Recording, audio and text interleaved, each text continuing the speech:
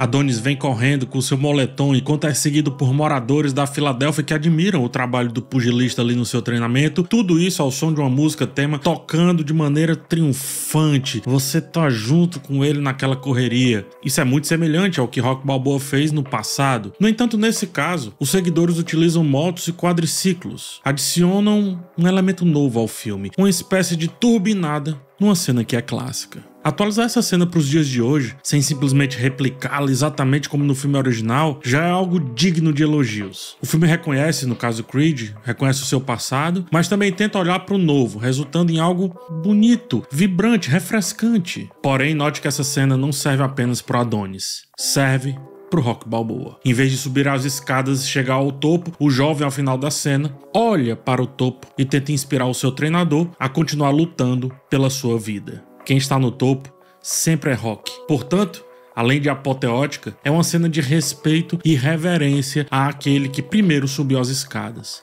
E lá de cima teve Filadélfia a seus pés, mesmo sendo um grande desconhecido no começo. Ao mesmo tempo, também é uma cena de humildade do próprio Rock, que aceita aqueles gritos e incentivos como recebia dos seus treinadores lá no passado. Seus adversários agora são outros, e ele sabe que não é necessariamente com os punhos que irá vencê-los, mas com a ajuda de todos, algo que ele negava antes, e após essa cena, não nega mais. Creed, nascido para lutar, teve uma tarefa dificílima de seguir os passos de um ícone, como é o primeiro filme do rock. O ator principal, Sylvester Stallone, que dispensa a apresentação, é também a grande mente criativa por trás de todos os filmes da franquia. E ainda assim, esse filme conseguiu trilhar um caminho muito próprio com um novo protagonista. É raro no cinema, muito raro. Geralmente, essas tentativas geram uma grande queda do cavalo. Isso é um trabalho para poucos. E Creed, nascido para lutar, faz isso de forma brilhante. Como isso aconteceu? É sobre isso que eu vou falar nesse vídeo.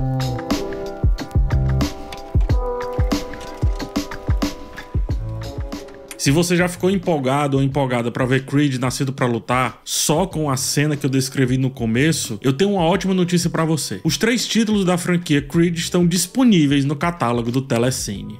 O stream está sempre atualizado com muitas novidades, filmes clássicos, estresses que estavam há pouco tempo nos cinemas, além de dicas como essa que dão aquele ânimo extra. Lembrando que é bem fácil navegar pelo Telecine e você pode assinar pelo aplicativo da Globoplay. Para facilitar ainda mais, ó, clica no link que está na descrição desse vídeo e também no comentário fixado. Aproveito para te dizer que os três filmes da franquia Creed são excelentes, mas como o primeiro é meu favorito, eu optei por dar uma atenção especial a ele neste vídeo aqui. Então fica aqui que eu vou falar bastante sobre esse filme. Se liga. Em Creed, acompanhamos Adonis Johnson, filho do falecido Apollo Creed, fruto de uma traição do ex-campeão de boxe. Eu me treino, Apollo. é, não é assim a tradução? Me treino, Apollo. Ele tem uma infância conturbada, o Adonis, com passagens em reformatórios, até que é adotado por Mary a esposa e viúva de Apollo. O jovem é obstinado a seguir carreira no mundo da luta e em algum momento pede a ajuda de Rock Balboa, ex-adversário e também amigo do seu pai. Creed, nascido para lutar, foi lançado em 2015, cercado de dúvidas que questionavam a necessidade de um novo filme dentro do universo rock. Os filmes são tão perfeitos, né? a maioria deles, pelo menos. São seis títulos, sendo o primeiro de 76 um clássico vencedor do Oscar de melhor filme. As continuações não tiveram todas o mesmo sucesso em termos qualitativos, mas de bilheteria imbatível. E a franquia também teve um desfecho muito, muito digno com Rock Balboa lá de 2006. Então, precisava mesmo continuar com um novo protagonista, sendo ele um filho de Apolo que nunca havia sido citado antes? Mais do que isso, jogando um personagem tão icônico para o papel de treinador por conta da idade, cara, isso é meio clichê. Será que esse é um bom caminho? E foi. O primeiro fator importante para a gente analisar é a direção do talentoso Ryan Coogler, que também assina o roteiro ao lado do estreante Aaron Covington. O diretor até então tinha no currículo apenas o independente e maravilhoso Fruit Valley Station, a última parada, que inclusive é também com Michael B. Jordan que protagoniza Creed. Mas anos depois, ele assumiu a direção de Pantera Negra, o único filme da Marvel a ser indicado ao Oscar de melhor filme. Sylvester Stallone, mesmo relutante em aceitar retornar ao seu papel favorito, que no passado salvou a sua carreira literalmente, tá? Pela primeira vez ficou de fora do roteiro e da direção, trabalhando apenas como ator. Boa decisão pensando em futuro, porque o Ryan Coogler e os demais envolvidos puderam venerar a franquia Rock enquanto iniciavam uma nova franquia, uma nova empreitada com outros temas, mas sem nunca deixar de lado os filmes anteriores. A gente vê que Ryan Coogler insere muitas referências à franquia de origem, ao mesmo tempo que implementa aos poucos o seu novo estilo. É como se ele fosse assim, ó, eu sei fazer o que foi feito, mas eu também tenho algo a te oferecer. Após a introdução com o jovem e problemático Adonis descobrindo as suas origens pela mãe adotiva, temos um salto temporal em que o vemos já sendo interpretado por um forte e impetuoso Michael B. Jordan, que é disputando ali no caso uma luta em um circuito muito pequeno, muito concentrado lá no México. A fotografia escura transmite uma sensação de evento clandestino, bem parecido com aquele quando o Rock enfrentou o Spider Rico lá em 76. Após um nocaute brutal, sem sequer suar, a cena corta para Adonis de camisa social e gravata. Ele está trabalhando em um escritório, um contexto que o torna claramente infeliz. O protagonista do Michael B. Jordan é o oposto do que Sylvester Stallone pensou pro Rock lá no começo. Rock era um sujeito que apanhava, mas que não deixava os traumas aparecerem em sua, em sua personalidade pública, sua persona pública, melhor dizendo. Ajudava quem podia, consertava uma luz quebrada, passeava pela cidade como quem aceita aquela vida. Adonis, por sua vez, é, é mais amargo. A atuação fechada e carrancuda do Michael B. Jordan indica que os traumas o consomem, não necessariamente por perder uma luta, mas por todo o seu passado, por toda a relação ou a não relação com seu pai e como tudo isso resvala em seu caráter hoje. Após pedir demissão e migrar para Filadélfia, em busca, no caso aí, de um treinador, Adonis encontra Rock Balboa no mesmo cenário em que o vimos lá no último filme de 2006, sendo portanto o proprietário do restaurante Adrian's, decorado com muitas fotos dos seus tempos de glória. Rock, inclusive, utiliza o restaurante ali, bate foto com as pessoas para alavancar um pouco a sua marca, né? E na parede está o seu legado, coisa que ele não pode mais alcançar, dada a sua idade. E ele também continua o mesmo cara, sabe? Um ser humano gentil,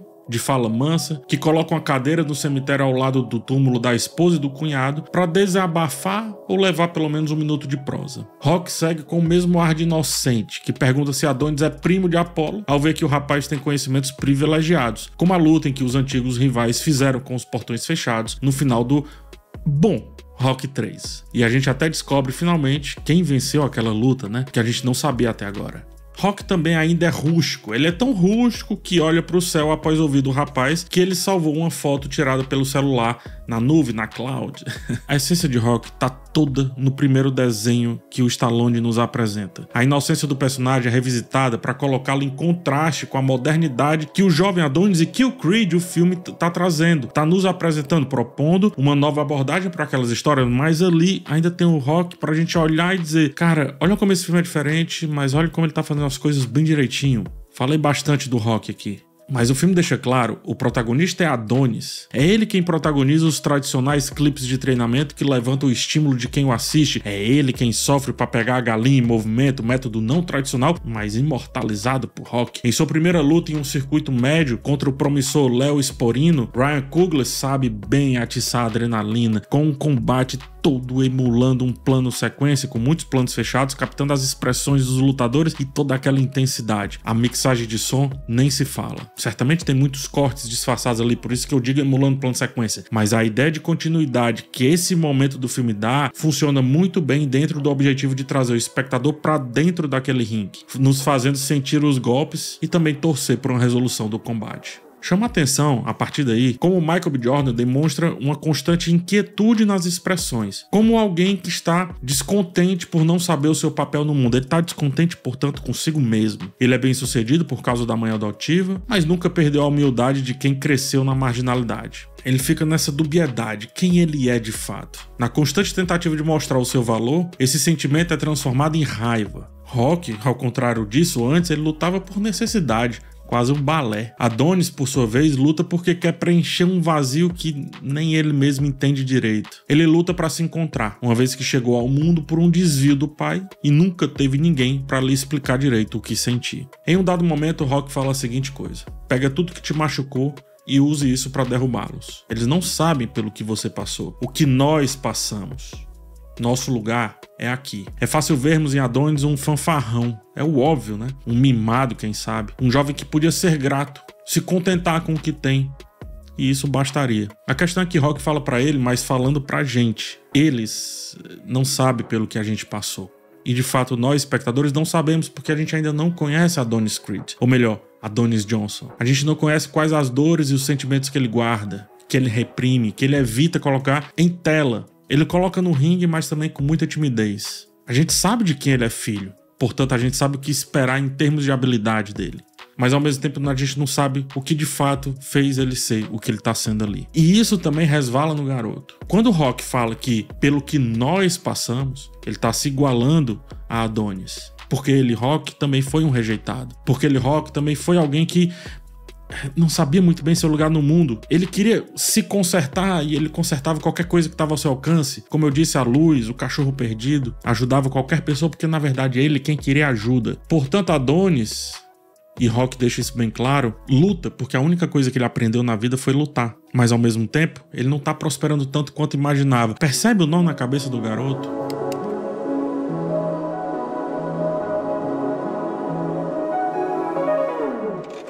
Os personagens secundários têm motivações muito bem construídas, ainda que uns mais, outros menos. A Marianne, que assumiu Adonis como se fosse seu próprio filho, teme que o rapaz sofra o mesmo destino que o marido sofreu, chegando inclusive a morrer no ringue naquela luta que teve contra o Ivan Drago lá em Rock 4. Bianca, o personagem da Tessa Thompson, não é apenas o interesse romântico de Adonis. Ela tem o seu próprio arco dramático por ser uma cantora que sofre com a perda degenerativa da audição. Algo que serve de lição para Adonis. Ora, se ela não tem uma das coisas fundamentais para o seu trabalho, trabalho, porque ele precisa de um pai para subir ao ringue e lutar por si, lutar por ele, melhor dizendo. Assim como o Adrian era para Rock, uma ajuda, né? Ela, a personagem da Tessa Thompson, ajuda Adonis a não se sentir deslocado e mais do que isso, ao se sentir motivado. Ela traz o conforto, traz os conselhos, tudo que é necessário para as decisões mais importantes do rapaz serem tomadas. É como se ela e Rock trouxessem emoção para um jovem que ali, em busca de achar uma resposta pragmática, tenta ser só razão.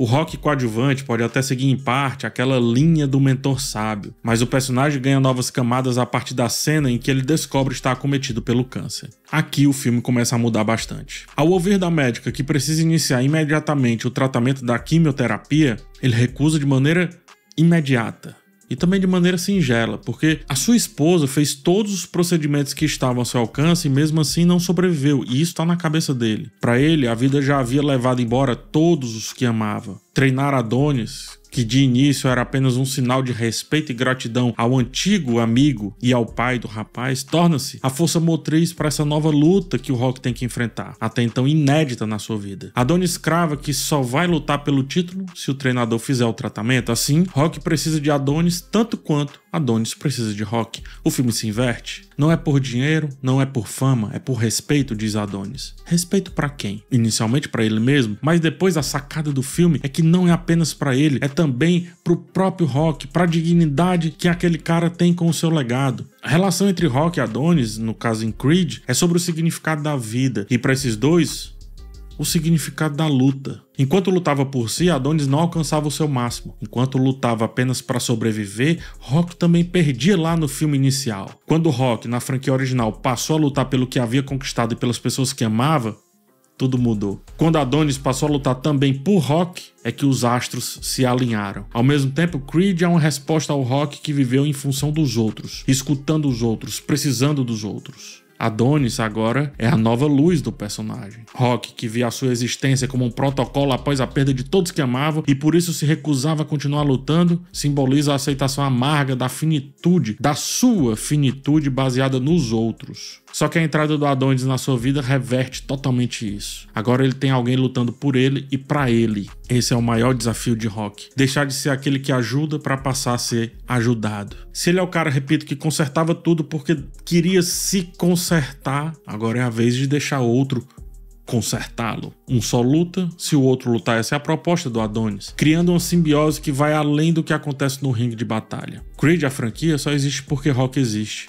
fechando, portanto, a metalinguagem que o diretor quer nos transmitir. É aqui que a franquia de fato assume a sua grande originalidade. Não é exagero dizer que essa é uma das grandes, uma das melhores atuações da carreira do Sylvester Stallone, que convenhamos não é o ator mais expressivo do mundo, mas quando ele encarna a persona do Rock, o personagem criado por ele e pelo qual batalhou tanto com os estúdios para poder interpretar, é como se ator e personagem se misturassem tanto quanto essas duas franquias também se misturaram. Numa idade avançada e em situação de vulnerabilidade, Stallone imprime uma delicadeza que só mesmo quem tem todo esse carinho pela sua criação conseguiria fazer. Assim como Rock, Adonis ganha sua grande chance por meio de uma jogada de marketing. O empresário do atual campeão mundial ali, né, o grande detentor do cinturão, o Rick Conlan, ele descobre que o Adonis que a gente está falando é filho de Apollo Creed, E por isso, ele valida a luta. Antes da luta mais importante de sua vida, Adonis veste um calção com o desenho da bandeira dos Estados Unidos, o mesmo que foi usado por Apollo e posteriormente pelo próprio Rock. Pela primeira vez, vemos Adonis sentir orgulho de ser um Creed.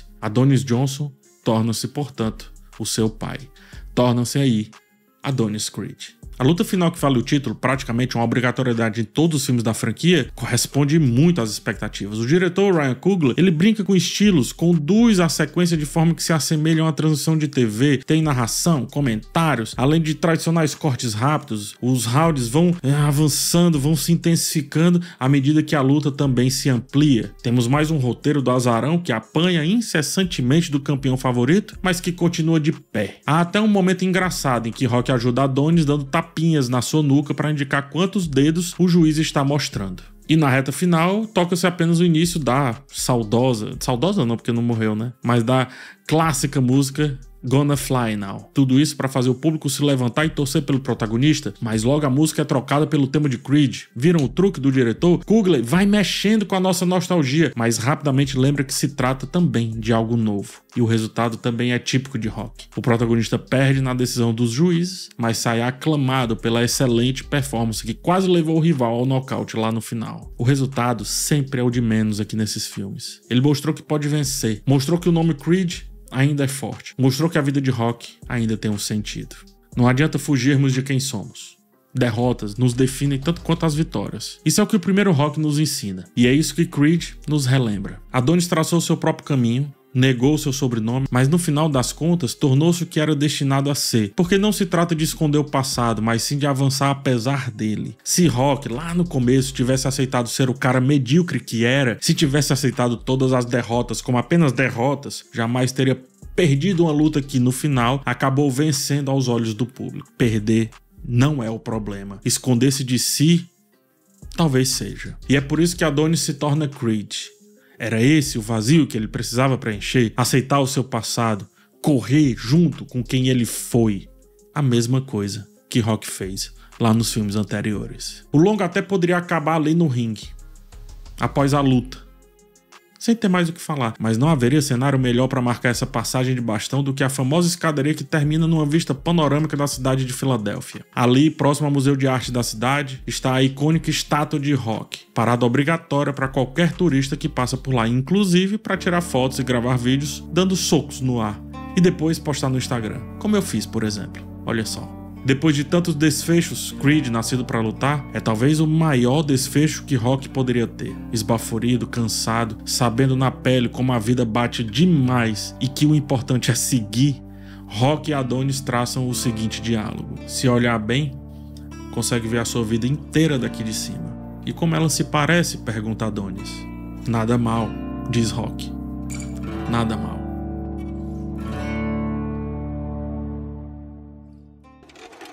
É isso, gente. Ó, gostaram do vídeo? Eu adoro a franquia Creed, tá? Tem crítica, inclusive, dos filmes anteriores aqui no canal. E agora tivemos esse filme, né, ou melhor, esse vídeo, né? Refletindo um pouco mais sobre o primeiro filme. E que sorte nós temos de ter a grande chance de assistir não apenas ao primeiro Creed, mas também ao segundo, que faz uma grande referência aí aos filmes anteriores, ao trazer o Dolph Lundgren de volta como Ivan Drago. E o Creed 3, que marca a estreia de Michael B. Jordan como diretor. O garoto que ele é fã de anime, consegue destilar ali as suas influências um jeito muito estiloso no filme. Tá tudo lá no catálogo do Telecine, que você pode acessar pelo aplicativo da Globoplay, já falei, e na descrição tem link para te ajudar a fazer esse acesso, ou também no comentário fixado. E aí você pode partir pro abraço, pode ir sem medo, porque a vitória é garantida, ou então pode subir a escadaria e comemorar lá em cima. Aproveita que foi lá na descrição, deixa o like nesse vídeo, se inscreve no canal e receba daqui o meu forte abraço. Tchau, tchau.